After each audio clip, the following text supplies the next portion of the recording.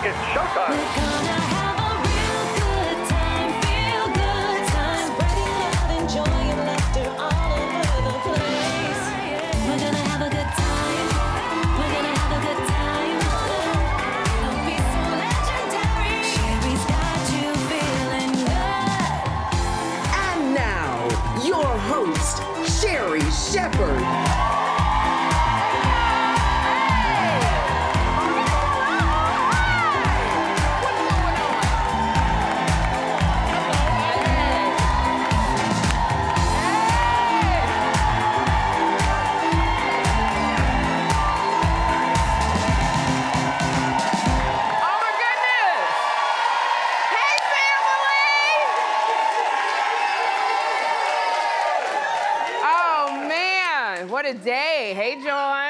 Listen, I'm barely in the chair, I almost ready to cameraman dad. It's, it's that kind of Thursday. It's that kind of Thursday. How? I gotta say, now that Halloween is over, I just have to say one thing. Uh, can y'all please, like I did, can you teach the kids when they come to get the candy to at least say trick or treats? have y'all noticed that? Like it used to be, that, you know, it used to be everybody was excited about getting dressed, and you, you know, it's it's like this is like a contract. The kids come, they're excited, and they go trick or treat, and then part of the contract for me goes, I'm supposed to go, oh, and who are you, little princess? Who, are-" you know, it's like. That's the way it's supposed to work. It's a back and forth. And When they come and go trick or treat, and I'm supposed to go, oh, you scared me. That's the way it worked. These kids was coming to the door, hands out, just putting the bag out, and I'm like, but you, I can't do anything until do you do your part first. So I was trying to, I was like, oh, you are you are a scary man, and it was like, do you have any candy? So I'm, I'm you, you know, so I'm like, it's the trick or treat. That's the part of the contract. That's the way it go. Oh, and then it's another thing. Can, can y'all get a proper trick or treat bag? These kids, like for the most part, everybody had the bag, but one girl came. This girl had to be about 16. She had her violin case. And I said, where am I supposed to put the candy? She was like, hold on. And she pushed the violin to the side. And I'm like, well, I don't want to scratch up your wood on the thing. And I'm just like, get a bag. People was coming with their school backpacks. You know how you know how big a backpack is for candy? I mean, it was just like then the people had their hands out. One child came with a rolling suitcase and was unzipping it. Said, where is he going? So I'm telling you, just, you know, I, I guess I got to start bringing the, having the bags with the candy to give it to him. And then at, at one point, I, and then one of the little girls, like, you also, you, you got to be, I know there's, there's some candy that is just like, that's the yucky candy. I always give out the candy bars and stuff that I, I would want to um, eat to the kids, but the one little girl, she said, I don't eat those kind of candy bars.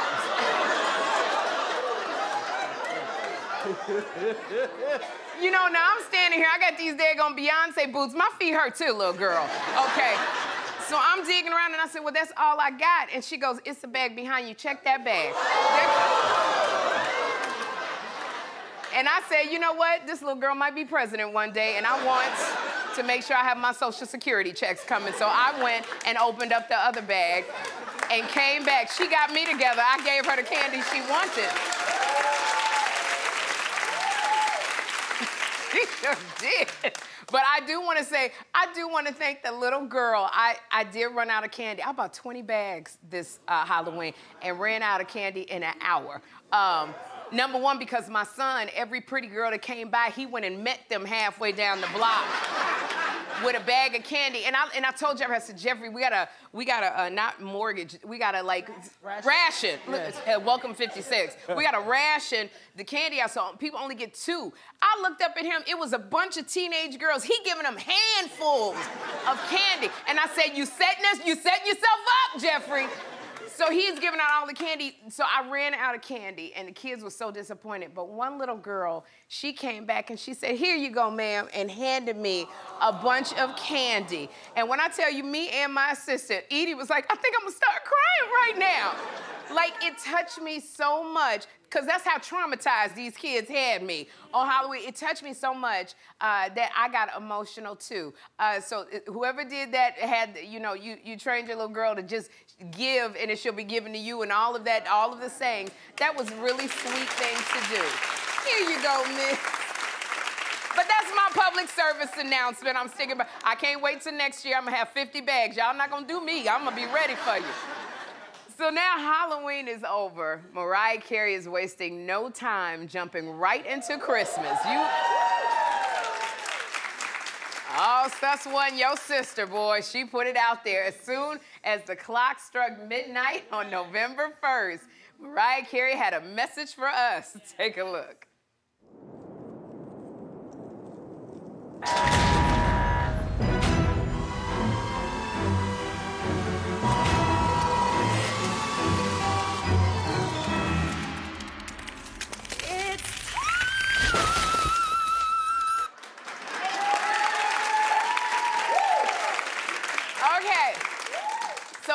Say it's too early to start Christmas, and I absolutely agree with that. But not for Mariah Carey.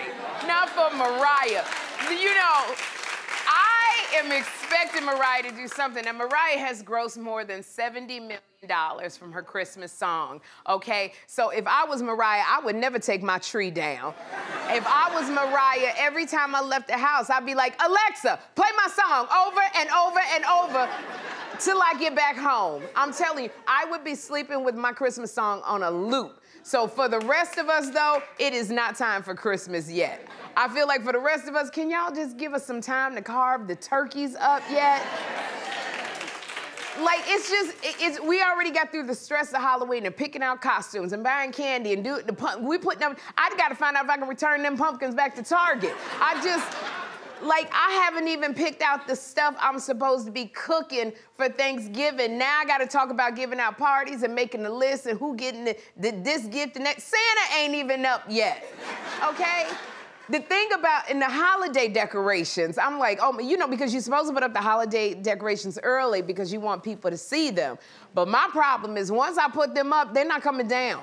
They're not coming down. If I light that tree, because I like to put the lights around the tree, that tree is lit up for the entire year. It just, for me, I'm like, it'll help you get home at night. You know, we see my tree lit up.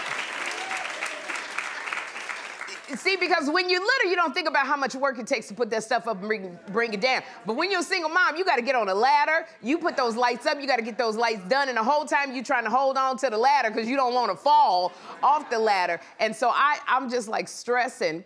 I uh, got a gingerbread house the two years ago. Okay, but look at my gingerbread house. The roof didn't caved in. Everything, all the stuff didn't falling off the roof. But that gingerbread house is still sitting in my window, welcoming people. A year later, I'm telling everything that fall off, all the little white stuff that fell off, the door fell off, the names that come off, the, it said from the shepherds. I don't even know what that little sign is. Oh my gosh, but uh, you know, so I'm excited about Mariah. She takes my stress away. And uh, Mariah is starting a 16 show tour, y'all. 16 shows. But guess who's the opening act? DJ Sus One. Sus One. Congratulations, Sus. Thank you. You know, Mariah's family, so you gotta go represent. Okay, well, I know you're going on a 16 city tour with your family, but you you do remember are you you got family waiting for you. We, Yeah, yes. I'll be We right back. I'll be Okay. right back. we, we waiting with our arms open, sir. Cougars don't snatch him up on the road. You know, Sus love the Cougars. The Cougars love Sus They One. love Sus One. And ever since I said Sus One got good credit, Cougar and good credit go together. My, my, my nightmare, sometimes I wake up in a sweat and I'm like, is this the day Mariah gonna say, Sus, I need you like all the time, and Sus gonna just like leave and be with Mariah? I'll be right back. You gonna, are you, I love Sherri's family. you'll be right back? Mariah's family and Sherri's family. We all one big family. I'll be right back. You said we all one big family. I'll be, that's what my first ex-husband said to me. I'll be right back. So you might understand if that's a trigger right there, Sus. No, I love you, Susan. We're happy for you too. We are happy. Now, as uh, Mariah has told us, the holidays are coming up. A lot of us are going to be reaching for the cakes, the pies, the sweets. You get the itis, uh, you know. But we, we also have to make sure that we are aware of what we're putting in our bodies. And uh, I did press yesterday to bring awareness for National Diabetes Month, which is started November 1st. And you know this this right here, black and brown people have double the diabetes rates as white people. Every 23 seconds, someone is diagnosed with diabetes. I'm one of those people that was. I'm I'm a diabetic. I've been a diabetic since 2007, and I wanted to get the word out to go get checked out because diabetes is called the silent killer.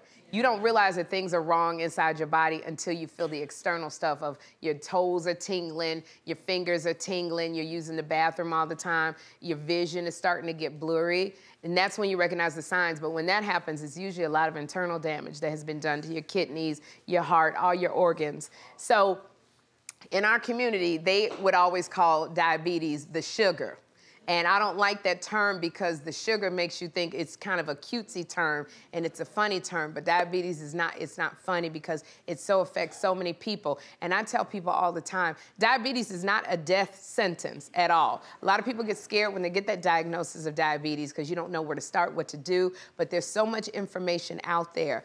It is, it, it, diabetes has saved my life because it has made me get healthy. It's made me look at labels and what I'm putting into my body.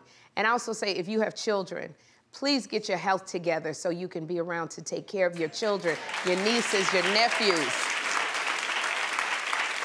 I am so about we all have a purpose and it's you can't fulfill your purpose if your health is not together. That is a big thing and you have legacy. There is always somebody depending on you to fulfill your purpose because it'll help them fulfill their purpose and so on and so on. And so you know we have to we really have to be mindful of our health. And i say put the sugar down sugar put the sugar i don't want to preach but put the sugar down go get checked. So at least if you know you can do something about it and you can you can start this journey of health. It's good over here on the other side and i have diabetes.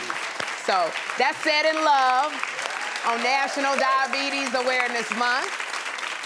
Um, and I gotta say, I one of the things I love about doing this show is it excites me because I never know who is watching the Sherri Show. So y'all, guess who watched our show the other day?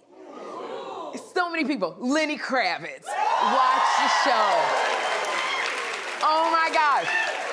When I tell you, so Lenny saw my reaction to his music video for TK421, and he posted a video of him watching me when I was talking about it. And I love this because it, I meant every word that I said.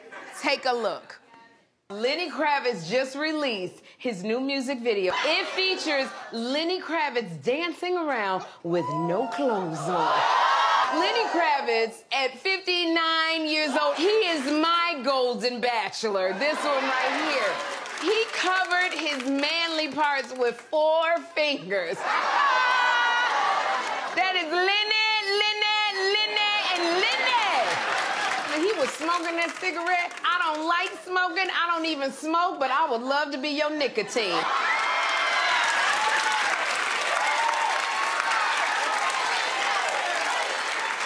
And then, y'all, I know, I know. So Lenny, he posted, he, Lenny said he wasn't smoking a cigarette. And so, Lenny, why don't you come on the show and explain the video to me and what you was smoking? I need clarification. I mean, I literally, I'm looking at Lenny. Did you see how Lenny, when I say he's my golden bachelor, Lenny gripped his heart like that? Let me tell you something. I know that's code for something. I know it's code for something. I don't know. I don't know what the code is, but I'm gonna figure it out. And and I saw Lenny's video, and I just I freaked out. I sent it to all my friends. You know what we started doing? I started scribbling my name. I was like Sherri Kravitz. Sherri, Sherri with the S, get a K. I would have said that Lenny, if I had known you was gonna be watching, I would have made my own video to send to you. I'd have done my own video. So this is what I say, ladies. This is, ladies, I say this all the time. Shoot your shot because you don't know. You, you never know who's to watch it. And sh- may, Lenny Kravitz might be watching right now, and if he is, if he is, hey, Mr. Kravitz. And another thing, I'll see you at Zoe's wedding, Mr. Kravitz. And Zoe, I can't wait to see you from your mother. Did I go too far? Did I go too far, John? I No, went a little too far. You could be her stepmom. I I'll could be with that, bonus mama. Yes. Shoot. Oh man. so y'all, Ciara and Russell Wilson, they're expecting baby number four. And when I tell you, Miss Ciara is about to pop at any minute, but this is not stopping this girl, Ciara, from showing off her dance moves. So she posted up dancing to Tyla's hit song Water. Look at that. Look at Ciara. Look at that booty. Look at that booty. Every time Ciara gets pregnant, her booty just get bigger and bigger. I'm telling you, if I had a booty like that, I'd be doing the same doggone thing. Every time Ciara dances, her booty grows. I love it. And you know, I know Russell is looking at that video going, can my wife get pregnant while she pregnant? that video right there. I need to make one of them kind of videos for Lenny. That's what I'm gonna make this show. Did I go too far? Did I go uh-uh. too? All right, all Keep right. going, keep going.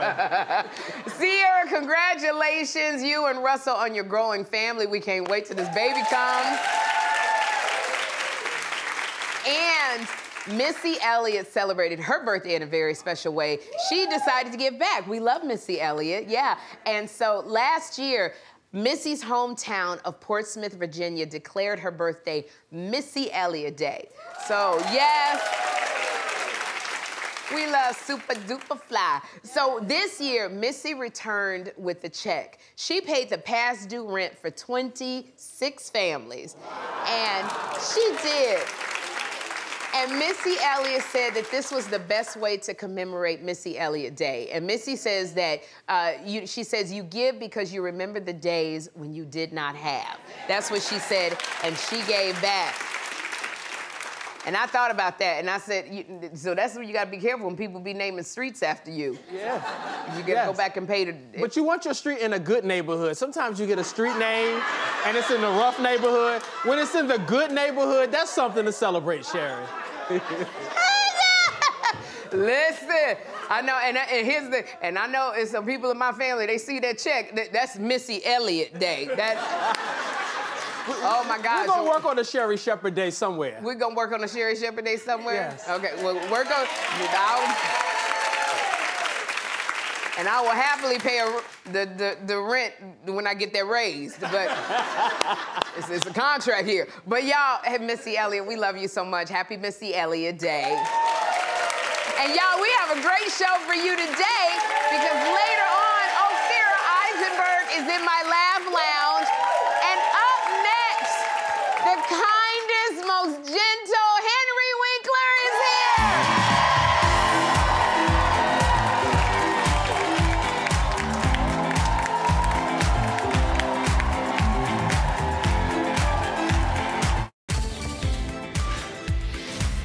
Will be right back.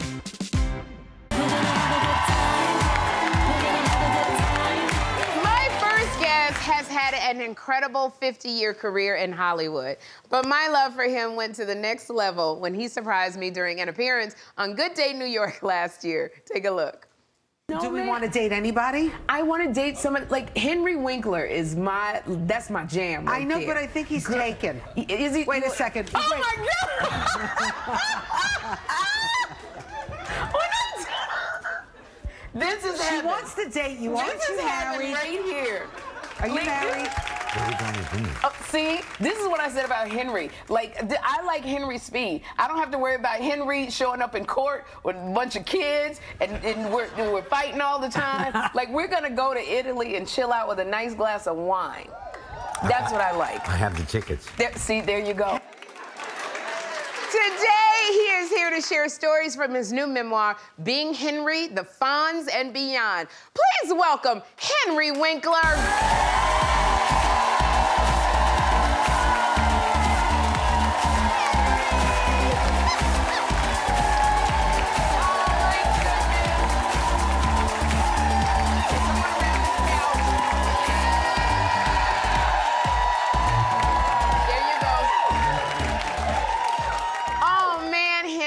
You go. Man, Henry, you said you were gonna come, and you did. Thank you so much. They're also colorful.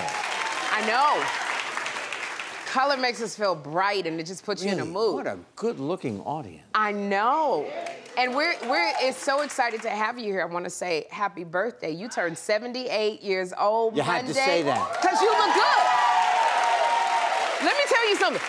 78 years old, you look amazing, and you still got that Not joy. like Lenny. Not- No, I, I, I, I have to say, I tried that pose in the in the, in the uh, dressing room, and I never put on my pants so fast in my life. I looked over at a mirror and I went, "Wow, that's not dude. That's that's terrible." You know who loves your wife loves it. That's all you gotta work. And see, I had to come off of you, Henry, and get to Lenny, because Lenny is like he's single. Yeah. And so you know, I, I go I go where the single. no, but you didn't know what he was smoking. I was just going to say, you could say, Lenny, I'm your rolling paper. Oh! Henry! Henry Winkler! You are bad, you are bad. I was only helping. All right, well, I'm, Lenny, I'll be your rolling paper. That's... You know, I love so much about you, and I know just every time I meet you, uh, I just get such a joy because, you know, one of the things I love is you're a family man, Henry. You talk about this in your book. You got six grandchildren. Yes. Six I like. I love all of them. Yet you love all your do. There's not one that gives you a problem. Not just- uh, one. Well, they, they give me a problem, but I just love them. We have three children. Yes. Most of them. Okay, so you got the six grandchildren. You love them all. Yeah. You tell me what you're like as a grandpa.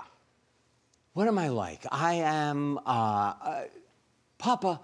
I, I'm feeling like Chicken McNuggets. Yes. Of course. Can I have a McFlurry? Of course. Can we find one that has a play center?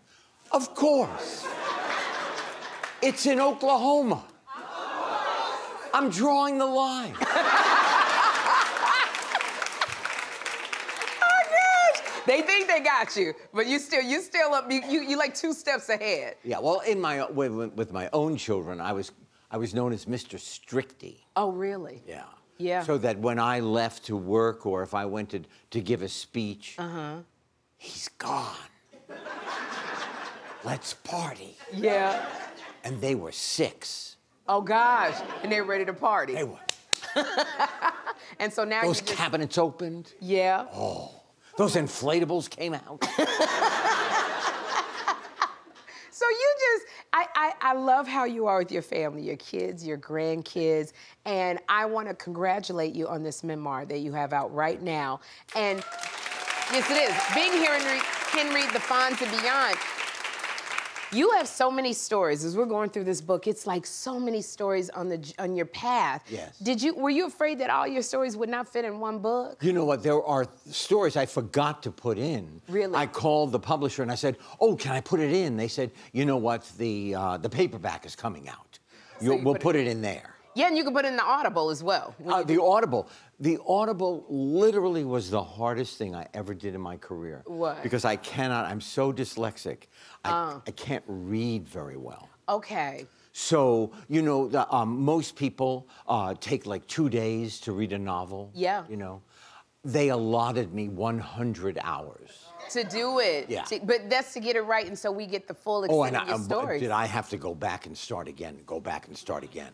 But this is gonna be beautiful. 'cause See, I don't read. I don't do a lot of reading. I like the Audible. Oh, no so I feel like you're gonna give me something that I'm not getting. Also, you know. Some Well, I, you know what? I tried. I, I, I found myself rewriting it Yeah. as I did the Audible. I Yeah. thought, well, you know what? This could be better. Uh-huh. And the director said, "Excuse me, you must go with the text because some people listen and follow the book. That's right. Uh, as they go along. Well, this one I want to read because you have such a life, Henry Winkler, and you and I just remember it was like that was a must see was Happy Days. When I would watch you on Happy Days. This it was like, hey, that's the deal. You you know it was you walked in the room and it was like applause break every time you walked in the room. And you write in your memoir about being in the Fonz. Yes. What was the audition like? Okay, so the audition, first of all, I am always nervous. I, and I, I, so I walk into this room, and there are hundreds of young men, Yeah. all of whom I have seen on television, Okay. and me. Wow. Hi. Wow, you look famous even sitting down. You look so famous. Okay, so now I am sweating. I am I have hair down to my shoulders. Yeah. Okay, and it's my they call my name. I walk in, there is a woman in the far wall in a very big desk, Millie Gusse, the head of Paramount Casting. There are 11 people sitting on the couch. Eddie Milkis and, and uh, uh, uh, Garry Marshall, rest his soul, who became my mentor. Yeah. You know, and, uh, and Tom Miller was right there. And then all of a sudden there's this man, and his name is Pasquale. Okay. And he is going to read with me. yeah. And I'm, I said, you know what? I, I, I just want to say honesty is the best policy. This sweat stain is in direct correlation to the fear that is running through my body. You said that. Okay. And the next thing I said was, and it, it, I'm telling you, I went with my instinct. I don't know where it came from. Pasquale said, Are you ready? Okay. Kind, Yes. being thoughtful. I turned to him and I said, Hey, don't you talk to me that way. Let me tell you something. You don't look at me right in the eye, all right? all right, and then I had six lines. Yes. And I made the decision to make him sit down with those six lines. Yeah. I then threw the script up in the air. I sauntered out of the room. And two weeks later, on my birthday, I get a call from Tom Miller. Would you like to play this part? Oh my gosh. Because that could have went that could have went so south. You throwing the script in there and walking out, swaggering out the I'm room. telling you. Then I had to go back and I auditioned again. They put me in a t shirt, in a cloth jacket with a collar that would not stay up. and I had a unibrow at that time. yeah. They removed the unibrow. Okay. Hair by hair. And let me tell you, it hurt. and then they put my hair in a ducktail. Wow. and I walk back in, and now I'm I'm I'm auditioning for the head of uh, ABC, Yeah. Barry Diller and Michael um, Michael Eisner, two men who would then come to Paramount eventually Yeah. and take over Paramount. Yeah. And I had to audition again. Did you throw the script in the air? I did not throw the script in the air. You know, it's it, it's it was so memorable. The Fonz. Every Yeah. time you were in that room, you just own that space, and it's it, the Fonz is so different from you in real life. I think the closest you came to playing yourself was it was a, a Sanka commercial you wrote about exactly. in the memoir. You had a Sanka coffee commercial. Yes. Well, you know what? When I went to the Yale School of Drama. Yeah. And we're we're trained for the theater. Oh right. You see, and you, you probably don't do commercials. You see, because we're trained for the theater. The theater. But I, I made a, a living. I worked in front of a camera. I got I under and I got to do plays for free Yes. in some church space that no one ever came to. yeah. You know, I, I really I felt like Pence in the drugstore. Yes. Yeah, there, nobody was there. and uh, uh, then I uh, finally did the Lords of Flatbush Yes. uh, with Sly Stallone and went to uh, California. But then you went to California, but you were doing all of this stuff and you were you were acting because you were from the theater. But it was like the Sanka commercial was when it was it seemed like it was just you. When I did commercials, I only did slices of life. Okay. I only did um, stuff that were like telling little stories. Okay. And uh, that was one of them. I was on a date, and she invited me in for a cup of Sanka, which was a decaf coffee at that time. All right. Well, you know what? We found that Sanka commercial. so we want to No, wait a minute. I have not seen this. You have not seen it. Well, I want you to look at this, uh, Rambo. I want you to look at Rambo's camera right here, and we're gonna roll this Sanka commercial. Let's see what it looks like. I had a lovely time tonight, Howie. Oh, so did I, Sarah. We should do it again sometime. Oh, Well, it's getting late. I, I better be going. Would you like to come in for a cup of coffee? Oh, I'd love to. This is really a nice place, Sarah. Thanks. When everything seems to be going just right, there's nothing worse than a bitter cup of coffee. When we take out the caffeine, we take out a lot of the bitterness. Sarah, why don't you show me around the place? Well, I wouldn't want to wake my folks. Your folks?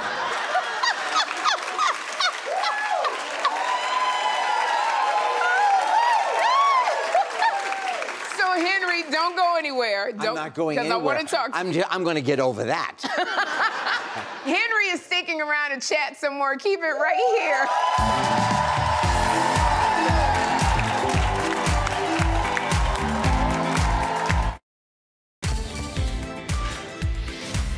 Will be right back.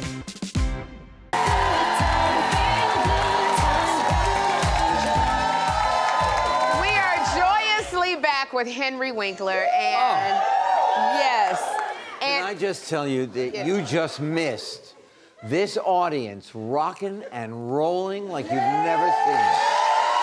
I know Henry. A lot of people think that we manufacture this energy, but you can feel it. Oh, When you you're on- feel it. It's yeah, you feel it. I mean, uh, the, uh, can I? What is your name, sir? Me, I'm Marco. Marco just warmed up this audience that uh, you literally do not need a sweater. oh my gosh! See, and that's why you have to come back, Henry. We always. okay. Is that an invitation? Is that a promise that you'll keep coming back? Okay. See, this is this is how stuff gets done. If I didn't have to go to Boston yes. to promote my book, because I have no pride, and I need you all to email everybody you know in America. We will do that. We will do that.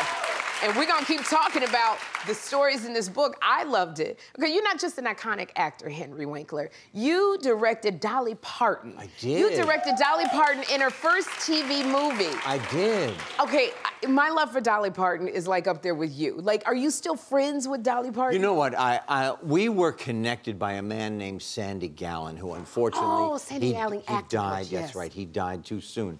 But the last time that Stacey and I and Dolly and were together, we were at an Italian restaurant. And I want to tell you, for a woman that size, she could eat. I, there was not one dish that came that she didn't try. Oh my God. And she is a brilliant woman. Yes. I mean, she just knows everything about everything. She, I. Very generous she is. Oh, my generous and warm. I want to ask oh. you a question about Dolly because you're still friends with her. We Oh. Talked about it because she says she does things by fax. Like she she doesn't answer her phone. She likes you to send a fax. Yeah. You are friends with her. Yes. You think you could fax Dolly? I know you got a fax machine. You know what? You know what? Henry. I want to tell you something. I could fax her. I really could. I know how to do it. Yes. I have no idea how to get in touch with her. I, that's the thing because she only does faxes. I'm, I'm not kidding. She, um, or she doesn't want me to be in her life. well, I'm just I'm just saying you you you show but me how to Dolly, get I want to tell you, please, you're just, oh my God. Again, okay. This is what I also have to congratulate you on. Your 39th children's book, Detective Duck. Your 39th book. Henry, Lin Oliver and I. Now, I want to tell you that Lin Oliver and I have written the 39 books together, so I know what it's like to work with a partner. Yeah. So then I met Jim Kaplan. Uh-huh. Uh, and I, I, he, I, I had flown him out to California twice. He, uh, sat in my living room. I talked to him for about 70 hours. Yeah. And then together we molded the book and then gave it to my wife, who is on my secret weapon. yes. She edited the book. There were parts of it uh, when I was writing about my parents, and she said, "You better pull back on that." Oh, it was too much. I, and if if you think that's too much, Uh-huh. you can only imagine what's out. What's out? Well, I already, you already told me you was naked in front of the mirror, and you know, and you was, you was gonna dance like this. But that was in my dressing room. That was just that's not in the book. That's going to be That's gonna be- gonna be in the soft cover. that's one of those stories I'm going to bring back. Henry Winkler, My love and respect for you just grows by leaps and bounds. I want to say thank you so much for coming. You have an open invitation to come And back I will take it. anytime. Okay. Well, you know, Henry's children's book, Detective Duck, and his memoir, Being Henry, The Fonz and Beyond, they are in stores right now. Go and get it. Up next, the hilarious. Can I can I just say one thing? Absolutely. Can I just say one thing? If reading is as difficult for you as it is for me, there are also pictures. And we do like pictures. I tried to think of everybody. No, we love pictures. You can't do this without pictures, Henry. Yep, Henry, thank you so much for coming. Thank you for stopping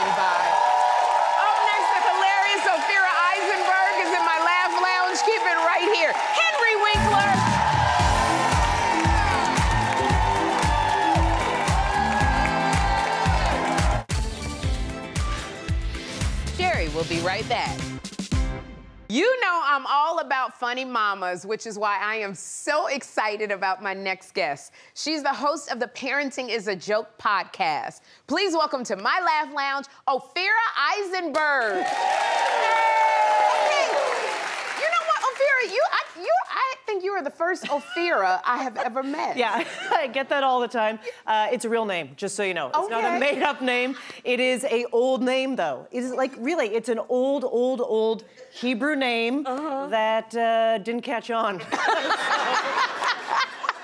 And it's very Israeli, actually. And I have an Israeli friend, and I said, it's not popular here. Right. But it's popular there, right? In Israel? And he went, no, no. Old name, nobody wants it. Oh my Yeah, gosh. I was, I'm the Mabel of Jerusalem. Oh my gosh! So, like, like you know, uh, you you have this now. Your your son, his his name is Lucas. Yes. All right. So Lucas just turned eight. Did you feel any kind of pressure when you picked your son's name? Yeah, yes. Yeah. I was going to give him a uh, name not like mine. I wanted it to be easy. Okay. But it's also very intentional because my husband is a huge Star Wars nerd. okay. So this is good. Yes, and so he loved Lucas. I like the name too, not because of Star Wars.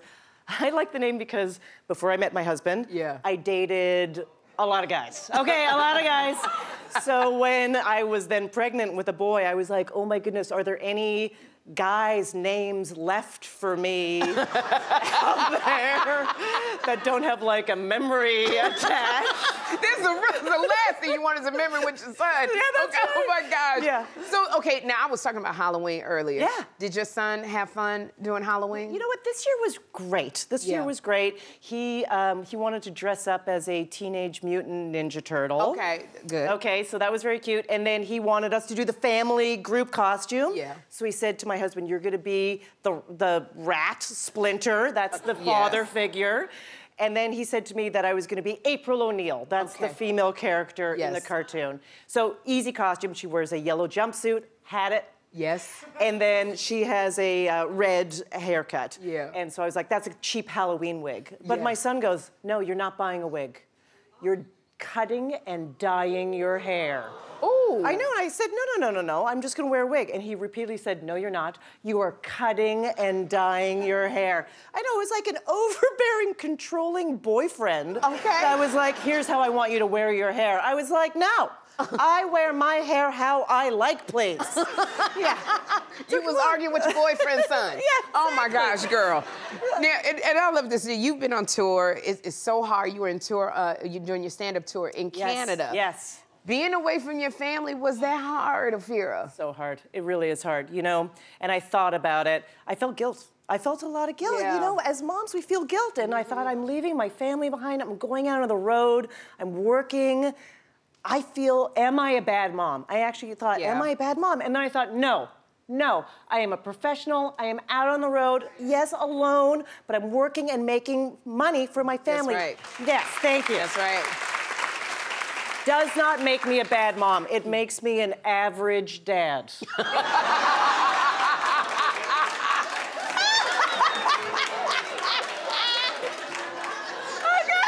And you know what? I bought him a little trinket at the airport. So number one dad, right here, number one dad.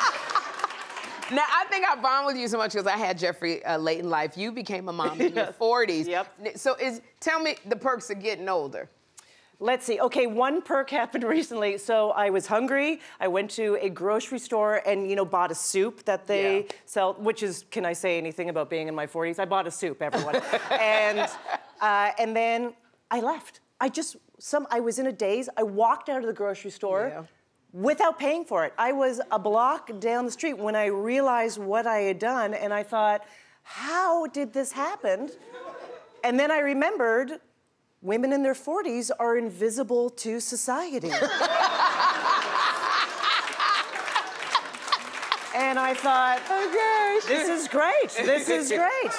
You know, carrot ginger soup today, Gucci tomorrow, my friend. Take advantage.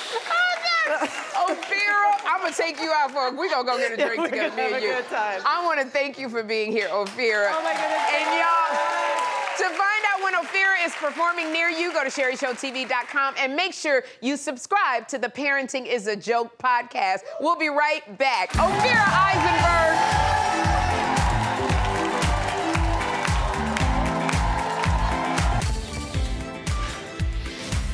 Will be right back. It's time for Celebrity Lie Detector. I am here with Sierra from Ohio. All right? Hey, Sierra. Hey, Mrs. Travis. Hey, All right now. Okay, so it is time to guess which one is the lie. So I'm gonna give you the lies and you guess which one. All right. She appeared in an episode of Sesame Street when she was five. She used to catfish people on MySpace. She made history as the youngest talk show host. Which is the lie? And it's Uh, Keke Palmer. I forgot to tell you Oh, that. okay. Yeah. Um, She Sesame- Sesame Street? Sesame Street. The lie is she appeared in an episode of Sesame Street. You got it right. Okay. And guess what? You won two tickets to Madame Tussauds, the world's greatest wax museum with over 20 years of history. And we'll be right back.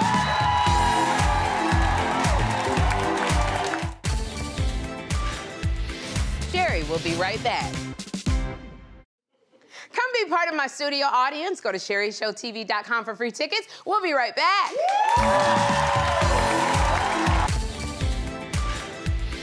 Sherri will be right back. Tomorrow, comedian Donnell Rawlings. So join us for the best time of daytime. Bye.